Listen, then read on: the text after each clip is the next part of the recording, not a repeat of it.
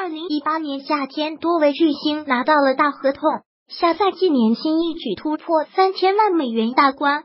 曾几何时，年薪超三千万美元在 NBA 球员中如同一道天堑。但是现在，三千万每年年薪正逐渐变成常态。下赛季的 NBA 将有十一位巨星年薪突破三千万美元大关，这创造了单赛季三千万先生人数纪录。年薪破三千万美元的第一人是飞人乔丹，他在一九九七到九八赛季的年薪达到三千三百一十四万美元。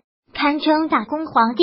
随后一直到了二零一三到一四赛季，科比成为 NBA 历史上第二位年薪达到三千万美元以上的球员。上赛季的 NBA，库里和詹姆斯的年薪都突破三千万美元，其中库里的三千五百四十万美元年薪为历史第一高薪。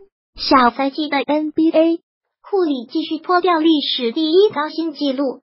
他在二零一八到一九赛季的年薪达到三千七百四十六万美元，排名联盟第一。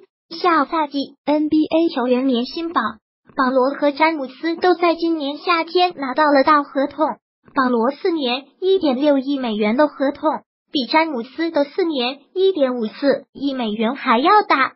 不过，两人在下赛季的年薪是一样的，都是三千五百六十五万美元，区别在于。保罗是通过拉里伯德条款续约的，之后的年薪涨幅高过詹姆斯。詹姆斯贵为当前联盟第一人，上赛季依然保持巅峰状态，他理应拿最高薪才对。所以从这个角度来说，詹姆斯属于物超所值的球员。不提詹姆斯在球场上的表现，光是他加盟湖人就能给球队带来巨大的经济利益回报。詹姆斯的球衣开售第一天的单日销售额排到了湖人队是第三，湖人的球票也趁机涨价，湖人也能吸引更高的广告商前来投资。库里、保罗和詹姆斯霸占前三位置，随后是威少、格里芬、海沃德、洛瑞、乔治、汤利、哈登和杜拉特的年薪也在下赛季突破三千万美元大关，在这份榜单中。杜拉特年薪三千万美元，仅仅排名第十一。这个赛季他又是物超所值的球员。杜拉特放弃了今年拿更高年薪的机会，到了明年夏天，他最高可以拿五年二点一九亿美元合同。哈登下赛季年薪三千零四十三万美元，排名第十。